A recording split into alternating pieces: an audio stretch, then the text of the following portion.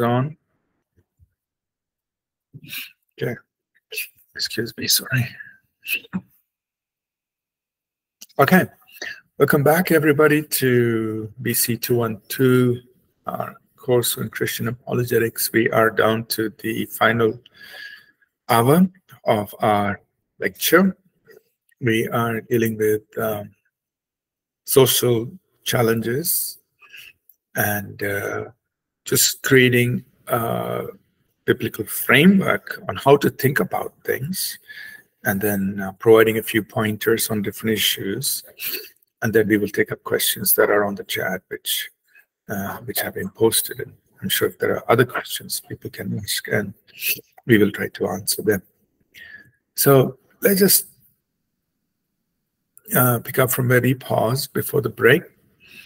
Um, and answer and, and, and move on those those topics. So if we were talking about, you know, how a believer responds or you know, relates to this whole issue of uh, gay marriages, homosexuality, and so on. And we were talking about we talked about one play, one scenario about a business owner. We can think about another scenario where in the workplace, if you're an HR person, you're supposed to hire people for the organization. People are sending you the resumes. Now, we keep in mind that when you're hiring people, you're hiring based on their skills and not based on their race or marital status or orient, sexual orientation. Excuse me excuse me, sorry. You know, you're not hiring them based on that. So, um, oh.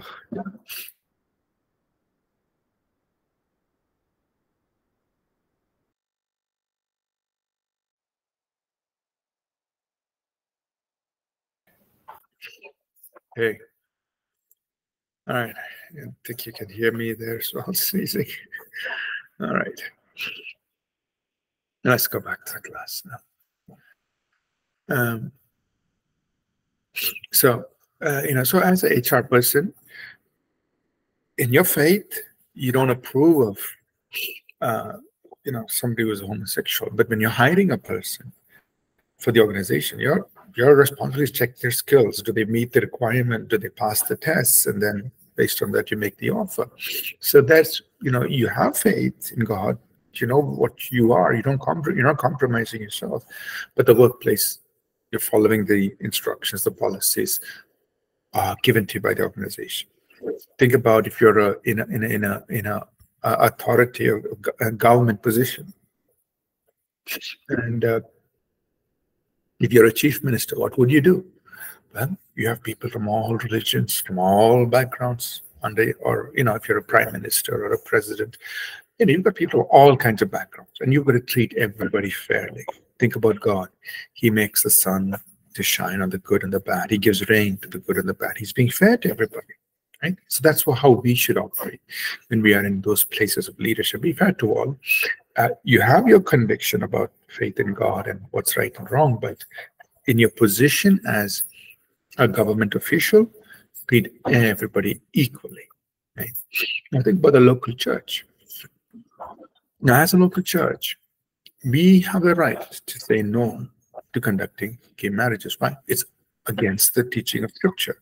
So that's why we, that's within our jurisdiction, that is within our uh, space, we can say, well, we are going to do it like this because the Bible says so.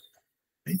So we have the right to refuse um, gay marriages. Now, you know, I know that's changing in some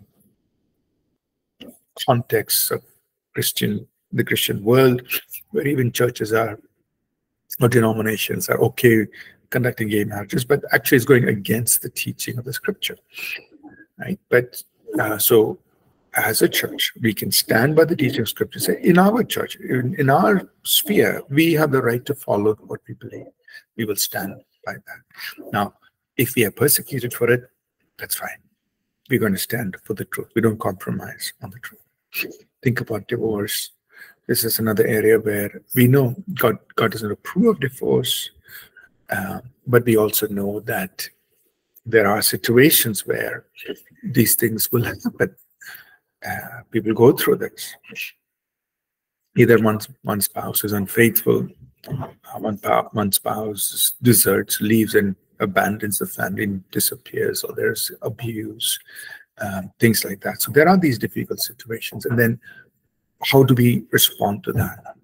We're not encouraging divorce. We're going to do our utmost to uh, preserve every marriage. But the divorce does happen. So in that case, what we do, we still love the people. We still believe that God is a God of a second chance. He can give them a new beginning and uh, work with them in that direction.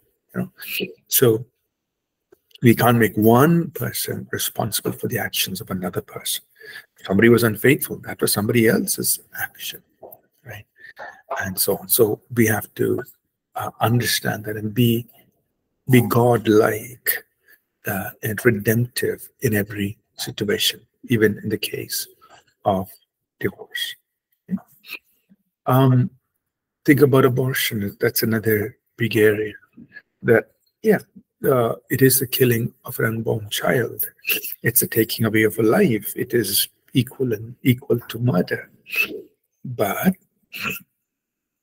there will there are situations like you know the case of uh, a rape uh, you know, it wasn't that person who wanted to get pregnant, but it was done against her will. And, uh, uh, you know, should we allow abortion in that case? Or what if there's a mother who already has a child? She's going to have another child, but her life is in danger, right? Does she need to live? Of course, she needs to live for the sake of the child that she already has. And so, what do you do in a situation like that? Or uh, another situation is what if uh, the baby in the womb has not been formed properly? There's some abnormality in the doctors because of the tests they do and all that. They can warn the, they warn the parents, hey, something's wrong with the child. What do you do? So, in all of these situations, we have to look at it from God's perspective. Right? And so if a woman has been violated, becomes pregnant, we leave it to her to make that decision. In some situations, uh, the woman says, okay, I know this has happened against my will, but I will still go ahead and have the child. Fine. Respect that decision. In some cases, a woman may, woman may say, this has happened against my will. I don't want the child. Fine. You respect that person's decision. You love the person. Similarly, in the case of, you know, when uh, the doctors say, look, the child in the womb, eh, there's some abnormality, we don't force our faith on the parents. We say, okay, you decide. In some situations, parents would say, no, we're going to go through and have the baby and we'll face the consequences. Fine, you respect their decision. In some cases, parents would say, okay, we we know what the doctor said, therefore we will abort the child. Fine, we respect their decision. Right? So we don't want to force faith upon people. We don't want to force to act against their will. We respect, be respectful of, of their decision and so on. But of course, we do not want to uh, abort a baby just you know for every women fancy. No, the child is precious.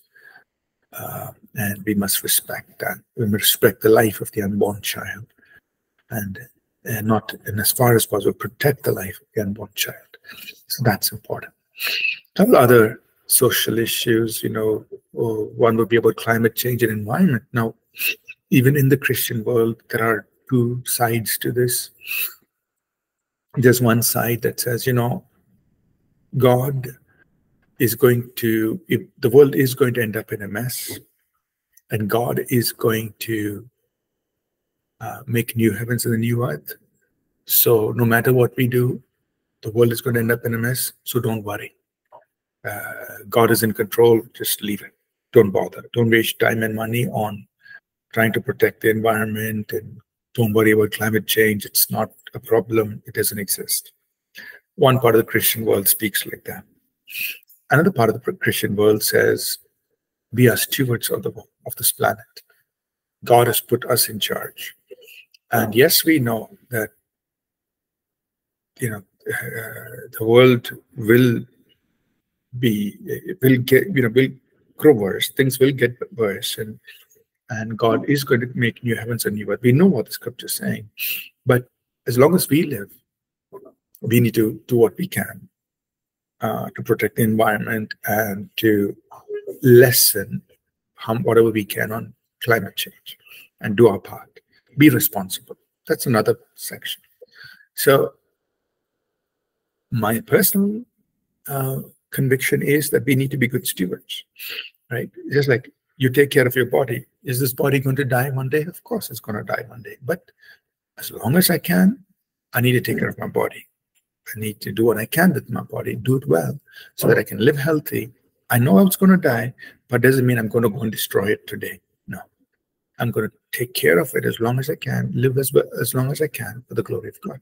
I think that same perspective, how you're being stewards of that, being stewards of your time, being stewards of your money, we have to be stewards of the planet. So that's my perspective, my conviction that that's how we should approach the environment, the planet, the natural resources, and climate change. That we need to do what we can, study, research, take action, um, educate, do all the right things to be responsible about the planet. That's my position.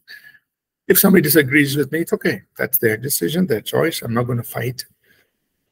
I'm not going to argue, but I believe this is God has put us and made us stewards of everything is entrusted to us.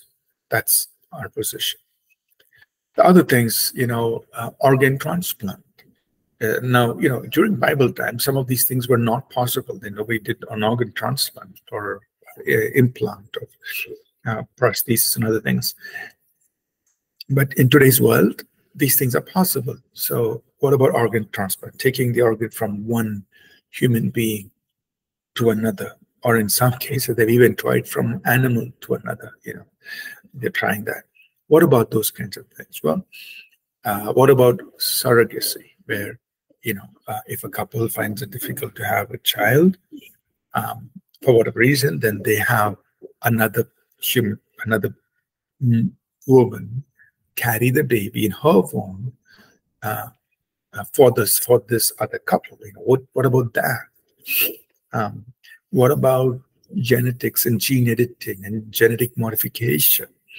Uh, of course, it has already been done for the improvement of the quality of life, where you can modify the genes of plants or vegetation so that uh, you can you know make them grow in conditions they cannot grow otherwise or you could modify the the, the, the fruits and so on and so forth uh, to be resistant to pests and other things and so on uh, for the benefit of human life. Or what about gene editing and genetic modification for the treating of heal and healing of sicknesses so that that you can actually get in and edit the genes that are causing those problems so these things were not there during Bible times. And so, how do we respond to these kinds of things that we are seeing happen in our world today? Again, here I'm sharing my personal thoughts. You know, I can't give a chapter and verse. Uh, I'm coming from that biblical framework that we had created or set up earlier, saying that, look, if it's going to be for the good of people without hurting people, then it's fine. So if you're going to, you know, work uh, in genetics so that you can produce better crops or increase harvest or better fruit or whatever, it's for the good of people. Fine, do it. Uh, it's okay. This again, my perspective. You can, you're free to disagree with me on this, but I feel it's fine. If surrogacy again, if somebody else is bearing children for somebody uh, where you know the the the, the, the egg or the uh, the fertilized egg is implanted in the womb, you know, and, and they bear it. Is it is it is it good for somebody? Yeah, it's for the good of somebody. I find nothing wrong with it. God has given us the technology, the means to do something good. Use it. Right? So organ transplant. If it's going to help, fine. Right? What about transferring from an animal to a human? Uh, that's a little far fetched.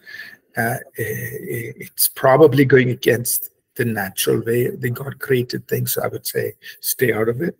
But from human to human, yeah, it's going to help somebody. Fine. And people's lives have been extended uh, because of that. A good thing, right? So these are these are not chapters and verses, but these are just my perspective on how to look at these things, so how to think about these things. If it's doing good without hurting somebody, fine. But when somebody's being hurt, that's when we have to be careful. Or when we're going against the natural way that God designed things, that's when we have to be careful. And I know there's a gray area there, you know, you're, but I feel that the knowledge and uh, technology that God has given to us, if we can use it for good, then definitely we should be okay with that. But again, these are areas that we need to think about. Um, think about you know what's going on with murder, war, and genocide. Um, this is happening all over the world, different places. Um, how do we look at it? Well, murder is wrong. God doesn't want us to take away the life of another human being. Now, in war, in order to protect a country, yes, people kill, and that's not sin. You're protecting your country. You're protecting the citizens of your nation. That's not sin. You're you're you're you're doing a work in order to protect your country against people who are attacking or people who are meaning to do harm. But what about killing innocent people? What about killing civilians? What about uh, killing people because they don't belong to your same race or things like that? That's not right. right?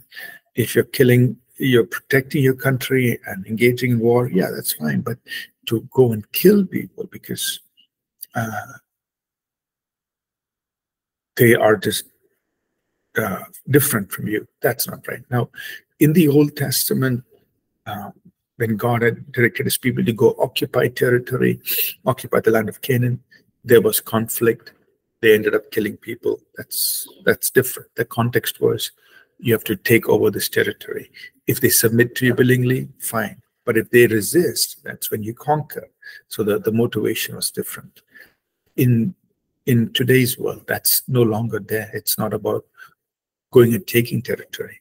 But if you're destroying lives because they are of a different race or of a different persuasion, that's uh, not right.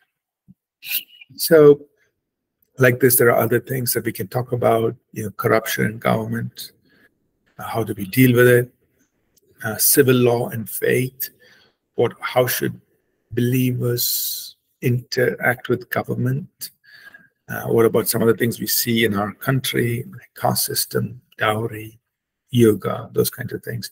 So, in all of these things, we have to think through and uh, apply that biblical framework. So, let me just make a few comments here. We'll take questions after that. So, in uh, corruption, uh, of course, that's wrong. We cannot be participants to that. But sometimes people are oppressed. That means uh, there is extortion. That means people forcibly take things away from you.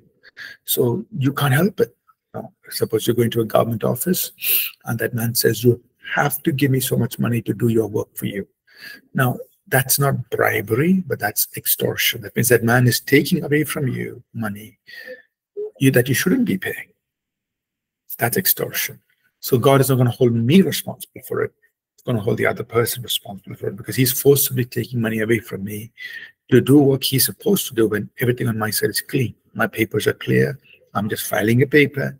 I just want work done, but he's pulling money out of me. That's his sin, not mine. Right? Whereas if I go and pay money and say, hey, my papers are not in order, but I'm giving you money, just pass my pass my papers. That's corruption. That's me bri- bribing a person. That's my sin. Right. So understand the difference between bribery, corruption, and extortion. So corruption can be in different ways. And we don't engage in bribery, but sometimes extortion happens, and uh, you know, it, uh, and, and and then we are not responsible for it. And the good thing is, um, uh, uh you know, in some parts of the world, uh, government itself is taking measures against corruption and against extortion. But the fact is, it is there. It is there in government. Another thing to think about is civil law and faith. Um, I believe that people of faith should and can be engaged in civil government. But when we go there, understand that we have to bring righteousness and justice, but we don't force our faith on people. That means if it's integrity, if it's honesty, if it's justice, we do it. But I can't go and say everybody has to read the Bible. Everybody, you know, especially in a secular government, the fact that a country secular means we respect people of all faiths, we respect people of all persuasions, and we're going to do what is just, equitable, fair, righteous, honest for everyone. But we're not going to force our faith on people like everybody must go to church. Can't do that. Right? So uh, we have to understand as believers, we must and we can, should be involved in civil government, but don't force your faith on people, especially in a secular government. We have to treat everybody with fairness and respect. Right? So, lastly, caste system. We know that's that's not right simply because uh, uh, it demeans the value of people based on where they were born or who in which family they were born, and that's not right. In the eyes of God, everybody is equal. Um, the practice of dowry, again, uh, you know, if out of own free will, if people want to exchange gifts at a wedding, that's entirely their choice. But to, but to forcibly take money or demand money uh, in the, in the context of a marriage, I feel it's wrong. Uh, if it's a free will, something free people do freely, that's fine. But to forcibly take or demand is wrong. Yoga, uh, I'm just making a comment here. It is a it is connected. It has deep, deeply religious context. Uh, it is while yoga in general has been presented as a form of exercise, its origins are deeply spiritual. And so we cannot uh, ignore its spiritual roots. So my response is, hey, if you want to do exercise, do exercise. You don't have to practice yoga. Uh, do whatever exercise you want, breathing exercises, sitting, stretching, do what exercise you want. But yoga in itself, in its original form, is an ex spiritual ex expression and and so we stay away from that. So we've gone through, you know, quickly gone through a lot of different thoughts and ideas, um, and uh, uh, the, the goal here is to give us a framework on how to think about things and uh, how we should respond to various things. Um, let's open up uh, a time for question answers. I'll just pick up the questions here in the chat. Um, going back to our previous chapter on suffering, there's a couple of questions. How do we understand certain kind of sickness where death is in kind of inevitable, It's just a matter of time? And uh, goes on, untimely death in the life of a servant of God or believers who lost their lives to COVID and similar. Now, one is, um, how do we respond to that? One is, we do not want to judge anyone, not even other believers, right? So uh, we shouldn't say if somebody, you know, goes uh, dies an untimely death, whether through sickness or accident or uh, you know, like people who lost their lives in COVID, uh, we shouldn't judge them and say, "Hey, there was some sin in their lives," or God took them away. No, what is God's will? God's word is God's will, his word says that he, he wants to bless us with a long life. That's the will of God. Right? A long life is the will of God. But people do do people die before their time? Yes, it happens all the time. Believers or unbelievers, people die before their time. Uh, excuse me. Um, so uh, it does happen, believers or unbelievers. Our response is don't judge them, Second, don't speculate. That means don't try to come up with some reasons or some, you know, answers. No, just accept the fact that we don't have the answers for every situation. In some situations, the untimely death could have been prevented. For example, during COVID, there were some there were in some cases, if people had taken precautions, maybe they would not have died. I'm just guessing. I don't know. Right? If they had been more cautious. But maybe they exposed themselves. And maybe they died because of that. So could it have been avoided? Maybe. But we don't want to judge. So don't judge, don't speculate. And uh, since they are believers, we just thank God for their life, whatever life they've lived, and we know that they are in God's hands. Is it that God's will for them to die before their time? My answer is usually no, because um, uh, God's word says that He will satisfy us with a long life and show us His salvation. That's His word. Even if He spoke it once, that's what He means, and He's spoken it many times, right? uh, that he will bless us with a long life. So that's his will. Do we fall short of it? Yes, we do. So we shouldn't change his will. We just say that we know there are a lot of things in this earth that cause untimely deaths. Uh, as you've seen already in this chapter on suffering, uh, we just leave it to God and glorify God for who He is uh, in spite of what has happened. That would be my response in situations like that.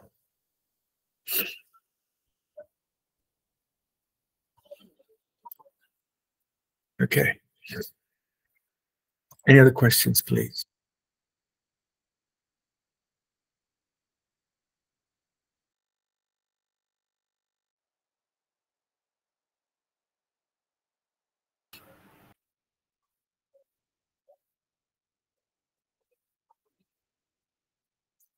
Any questions on the social challenges? I know I went through it very quickly, um, but any questions on that? And how to just think through various situations, uh, various uh, challenges that we face?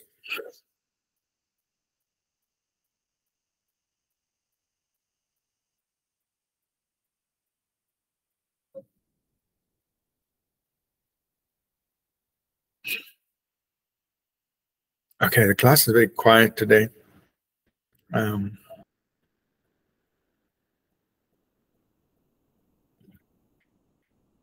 all right. Um, so we bring our, uh, you know, our, our course to a conclusion. So in this course of Christian apologetics, we have actually gone through a very wide range of topics. Um, and I would encourage you to explore any topic that you want further that you might be interested in. We spend some time talking about God, the existence of God, creation, so on. Um, then, both from you know from a philosophical, scientific, biblical response to it. Then we spend some time talking about the Word of God itself, the Bible, how it came to us, why we believe it's true. Then we spend some time, sorry, talking about the person of Jesus Christ, uh, on the uniqueness of Christ. How do we communicate Christ to a Hindu and a Muslim? And then we spent some time uh, talking about the aspect of suffering. And we closed off with just creating a framework to think about social issues.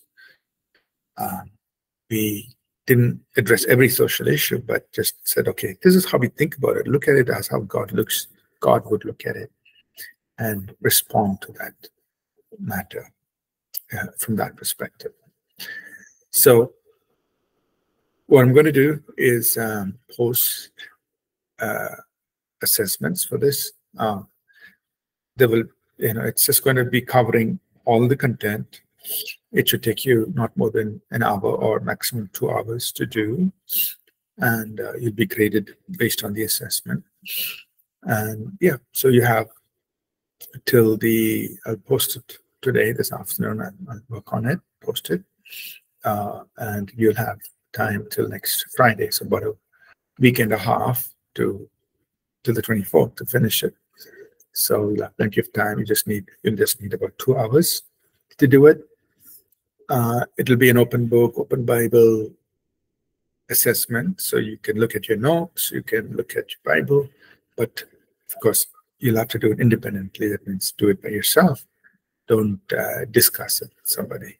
Yeah, that's the only only only constraint. Any questions?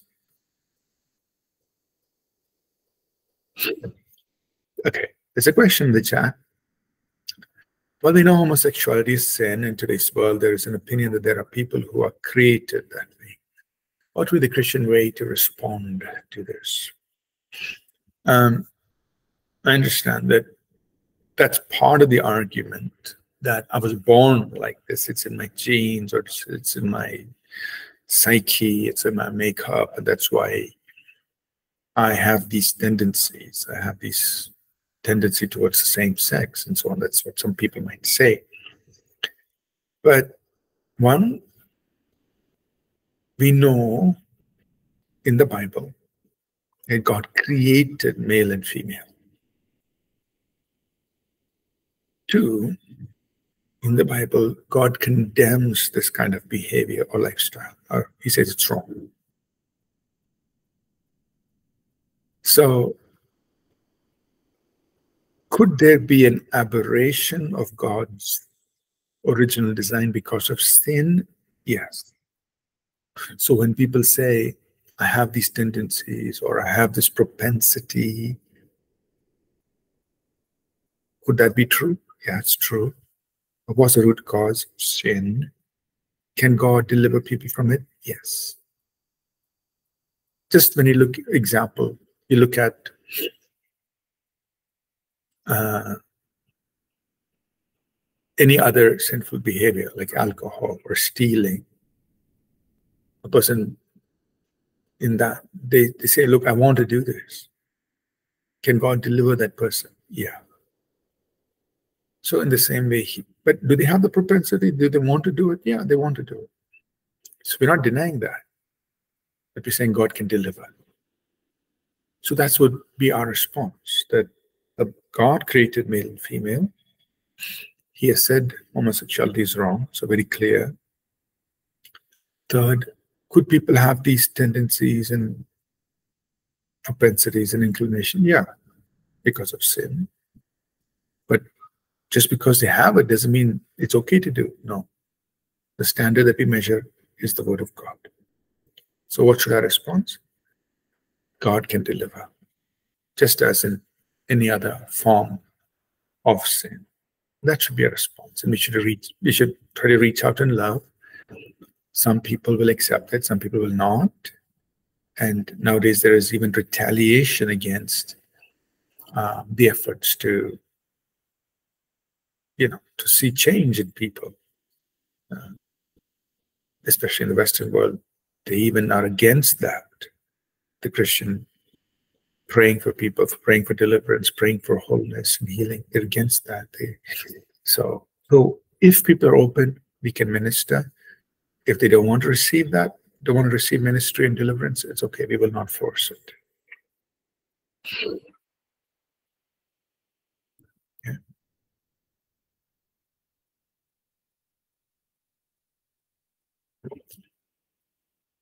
Any other questions?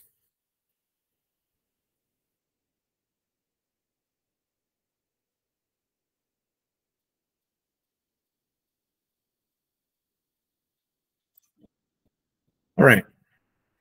If there are no other questions, we're going to close.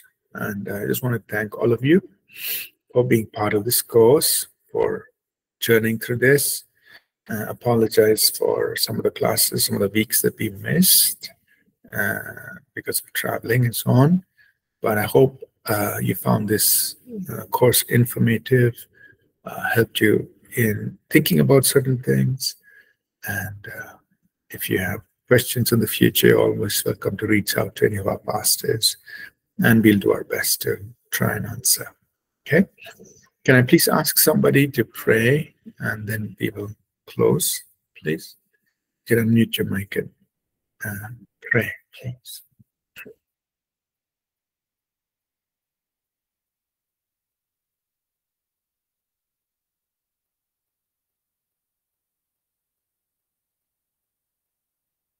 Anyone can pray.